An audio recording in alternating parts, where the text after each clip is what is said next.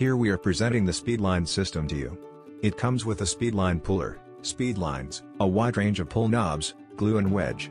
Basically all that you need to repair small to medium type of damage. The puller's unique design is focused on offering a large range of functions. Its high-placed position enables a wide scope of application. On one side it allows the feed to be placed at different locations but also offers enough space to perform the crown knockdown process, which is crucial to repair larger damages. Next we have 6 different type of speed lines. 3 different widths and shapes. The speed line 8 is from small creases. The speed line 16 has a off-center pull and is ideal for body lines and edges. The speed line 24 is for larger damages which require a larger pulling force. Each of them comes with a straight or the R version which is being used on round or curved body lines.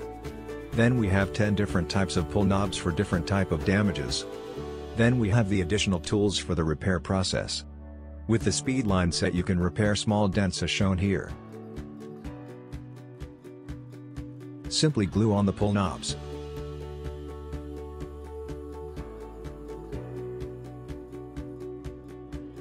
Pull them up with the Speedline puller.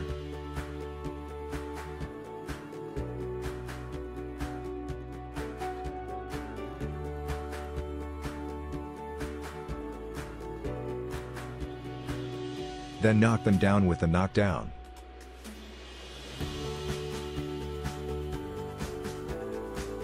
With the speed lines you can repair creases or line damages. Take the speed line 8 and glue it on. Let it cool off.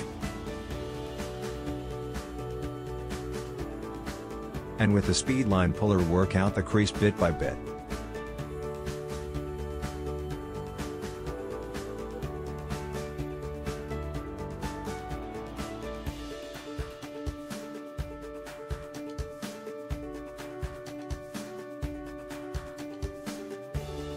The overpuller area can be flattened with the knockdown.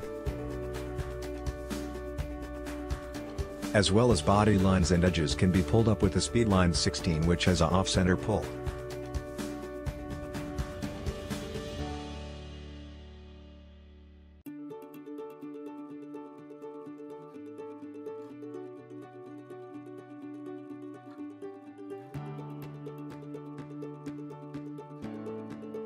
Again here pull and knock down or if needed re-pull in leftover low area.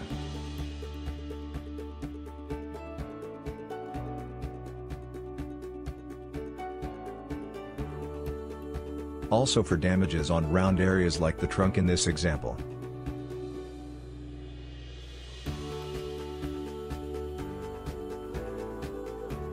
Apply the Speedline 16R.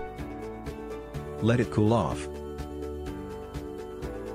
Apply the Speedline puller and pull out the damage.